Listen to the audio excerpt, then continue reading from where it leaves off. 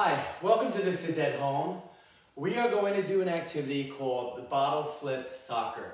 This will work on your passing and dribbling skills in the sport of soccer. Now, the equipment you need, you're going to need a water bottle that you're going to fill up to about here. So that would be about a third of the way up. And since I don't have cones, for my starting line, I'm going to use two plastic cups. So I have one here and one right over here. They are four feet away. And in the middle, I have a sock ball. Just a pair of socks I rolled up into a ball as my soccer ball. And then eight feet away from the starting line, as my soccer goal, I'm going to use a sneaker as one post and the water bottle with a red piece of paper on the floor. Now, this is how you play.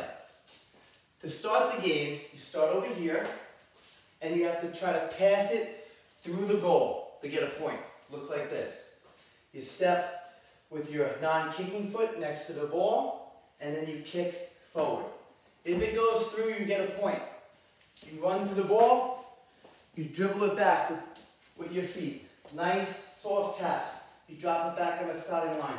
Now, before you can shoot again, you have to flip the water bottle and have it flip and land upright. Okay, so it looks like this. Flip it. Perfect. It landed. So now I can go back. I have my two goal posts and take a shot. Perfect. Now I have two points. I dribble it back. Dribble back, dribble back. Stop it. Come back. I have to flip it again.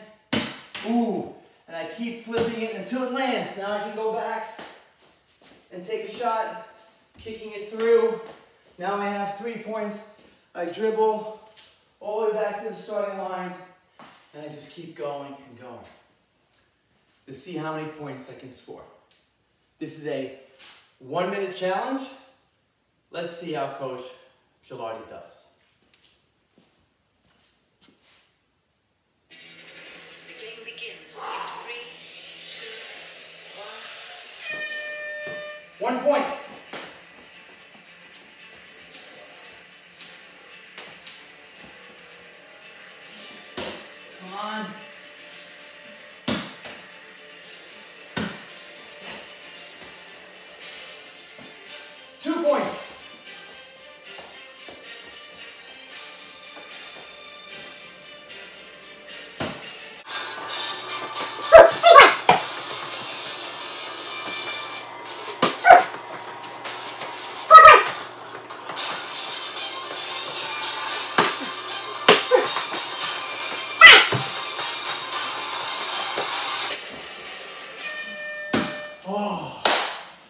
all right. I was able to score five goals, and so therefore I have five points. See how well you do? I'm a little out of breath. Again, this is called bottle flip soccer. It works on your passing and dribbling skills. Try to get your best personal score. And again, if you want to make this a little harder, you can always put the starting line and the goal further away, or you can make the goal smaller. If you want to make the game a little easier, you can always move things closer. But it's important that every time the water bottle lands on the paper. Okay? Thank you for visiting the zone, the Phys Ed Zone.